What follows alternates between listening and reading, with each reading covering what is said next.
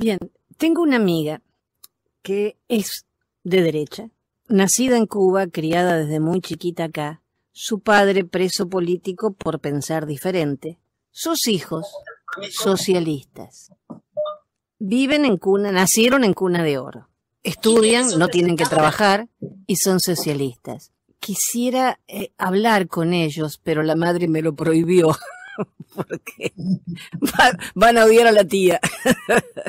no entiendo. ¿Qué tienen en su cabeza? Yo le dije a, a la mamá, preguntales a ellos que son tan socialistas, ¿en qué país del mundo funcionó? ¿Y qué hacen ellos para ser socialistas, aparte de vivir de mamá? Y no sé, no entiendo. Ese proceso, ese proceso de formación que vive, que vive muchos jóvenes y que es un proceso de, de, de, formación que los lleva a edades adultas regularmente cargando con soberana estupidez. Tú sabes que siempre hay un, hay un esquema que, que, que, que dicen muchos izquierdistas que supuestamente se dejaron de eso y evolucionaron. Ellos para salvarse dicen quien a los 20 no fue socialista no tiene corazón, quien a los 40 sigue siendo socialista no tiene cerebro. El asunto es que si a los 20 no te has molestado simplemente en leer algo de historia, no tienes corazón ni cerebro. Y por tu ausencia de cerebro, haces que toda esa cosa que mató, que tiene un historial de 100 millones de muertos, sigue matando gente, demostrando sí que no tienes corazón. Entonces, el asunto es en la juventud también, y tiene que ser un proceso desde, desde la crianza. Pero lo que pasa es que la crianza de, de, de, los hijos y la, toda la, se permite que la influencia externa a la lógica vaya dominando su pensamiento. Y entonces, ese es el resultado que tú tienes. Nosotros tenemos una sociedad donde lo externo a la lógica es lo que va dominando el pensamiento de la, de, de la sociedad. Más allá de la sociedad joven, ya abarca a, a, toda la sociedad que viene con un proceso de ese, de irle matando la lógica.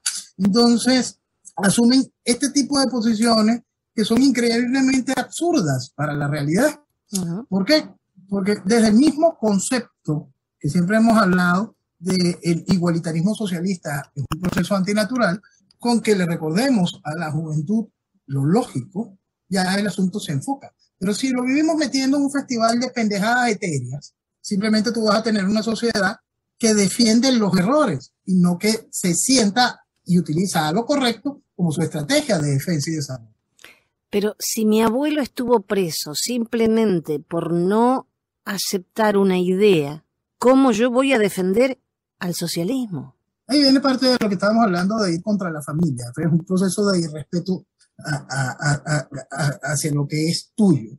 Pero a, mí me gusta eso despersonalizarlo. A mí me gusta mucho eso despersonalizarlo porque entonces nada más serían los que han sido víctimas del socialismo los que entienden que el socialismo es malo. No, el socialismo es malo. Punto. El socialismo destruye. Punto. La lógica es así y la historia lo ha demostrado. Entonces a eso se tiene que basar el proceso educativo y irle enseñando a la gente la realidad. Mi país ha tenido que vivir un proceso socialista para que en este país por fin odiaran a Fidel Castro. Mi país tiene que vivir un proceso socialista para, para por fin entender, ah, es que todos los partidos de mi país son socialistas. mi país ha tenido que vivir esta destrucción gigantesca para poder terminar de comprender, por lo menos un sector de la sociedad, comprender que durante años, desde 1958, lo que viene es un proceso socialista de involución, de destrucción el asunto, lo terrible de todo esto es que hayas tenido que vivirlo para entender. Uh -huh. Y ahí está eso. Cuando queremos, no nada más el que lo sufrió es el que lo entiende, nada más. No, hay un asunto que es lógico y la demostración histórica sobra. Entonces, es absolutamente imperdonable que alguien con un mínimo de sentido común tenga algún tipo de filiación socialista. Es absolutamente imperdonable las 911 desgracias doctores de este país que se le arrollaron a Fidel Castro. Es absolutamente imperdonable que en mi país la estructura política, la estructura académica niegue que este proceso es socialista. Y esas son realidades que la sociedad tiene que terminar de afinar, entender para poder dar los pasos correctos, no solo para rescatar el país, sino para poder cimentar el mañana sobre realidades, sobre seriedad y terminar de salir de este festival de paja socialista. Uh -huh.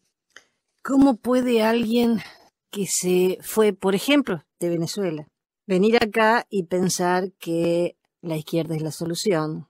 Y si mira para atrás, estaba leyendo un informe que Cáritas alertó sobre el retraso de crecimiento en los niños venezolanos. Eso no es broma, eso es el futuro.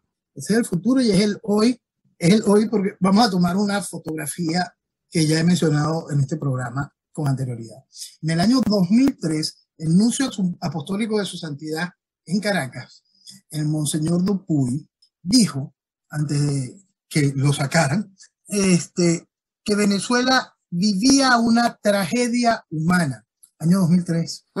en consideración de este tipo de realidades para saber lo que ya se ha hecho, lo que ya hemos llevado del año 2003 acá, en el año físico y cognitivo de la generación nueva y lo que va a venir cuando ya hemos vivido el efecto de la hambruna programada y dirigida por un chavismo. el informe de, de, los niños es realmente preocupante. Es devastador porque es una realidad, Jenny, y, perdona si no me afinco en el informe, es que es una realidad tan evidente, tan evidente que te asusta, que te asusta, porque más allá del proceso de alimentos que atenta a cada una de estas cosas, está el otro proceso que también se, se niega aquí, que es el proceso de adoctrinamiento. Hmm.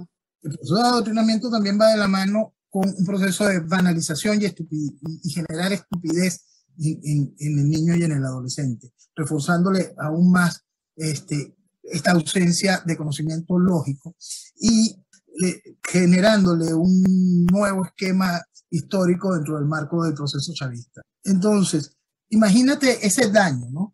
Cuando un niño que no come completo se ve bombardeado por información deformante y llega a su casa, en una casa donde no hay esperanzas, donde están tan desesperados por sobrevivir que llegan a ver a sus hijos como un estorbo, porque todo eso lo genera la revolución en su proceso para destruir la sociedad.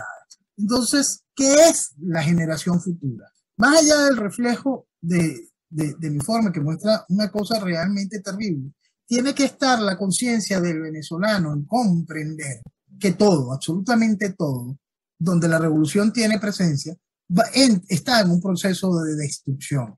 Cada día que la revolución permanece en el poder es destrucción. Y en el caso de la destrucción del niño, es el futuro el que está completamente destruido. No es un puente que mañana vamos a, a reconstruir, no es una autopista, no es ni siquiera la guerrilla que tienes que correr, no. Es el futuro mismo el que está destruido. Entonces, cada día de permanencia de la revolución es eso, daño real, matar